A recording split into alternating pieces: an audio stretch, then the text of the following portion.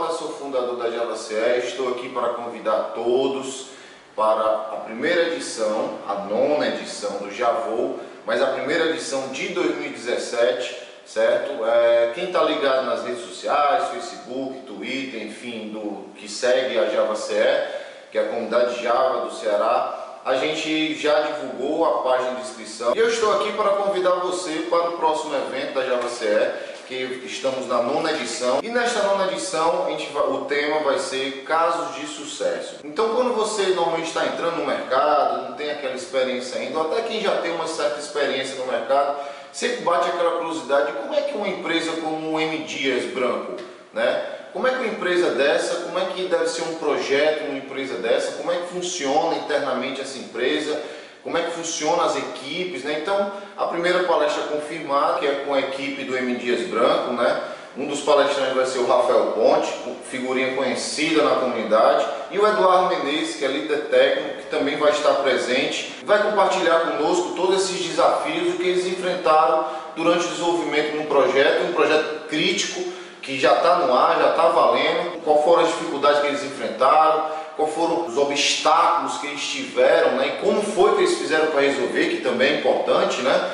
Então ele vai estar tá lá, já é a primeira palestra confirmada, não se preocupe que durante a semana a gente vai estar tá mandando mais informações, botando mais descritivo e vai estar tá também na página. E a gente está confirmando outras palestras de outras empresas também, que, que vão estar palestrando também, certo? Outros profissionais que tiveram alguns cases de sucesso, não só voltado na linguagem Java ou plataforma Java, para quem conhece os eventos da Java CS, sabe que a gente tenta manter o nível de qualidade, manter uma qualidade bacana, um evento legal. Então não se preocupe que durante essa semana a gente vai estar divulgando quem são os palestrantes. Uma a gente já tem confirmado, certo? Que é o Moinho Dias Branco, o Rafael Ponte e um outro profissional do próprio M Dias também vai estar presente. Que isso também é uma oportunidade bacana para você ter esse contato com é, esses profissionais que trabalham nessas empresas. Né? Então fica muito legal é, criar esse network, principalmente para você que está um pouco fora do mercado, ainda não pegou aquela, aquele trampo bacana, né? então é uma oportunidade legal. O evento vai ser no dia 4 de março,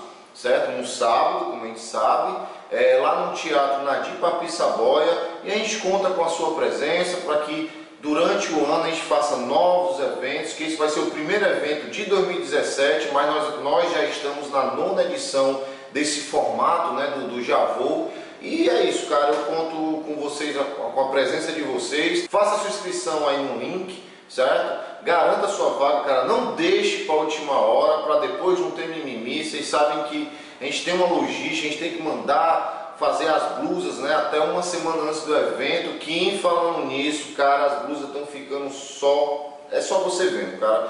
Dá uma olhada aí na, nos, nos, eventos anteriores e você vai ver como as blusas são bacanas também. Mas o mais importante é o network, é esse contato que a gente vai ter, vai, vai aproximar vocês e, e, a, e essa galera de empresas, né, esses profissionais. E vai conhecer também alguns casos de sucesso dessas grandes empresas daqui do Ceará. Então eu aguardo você lá e até mais.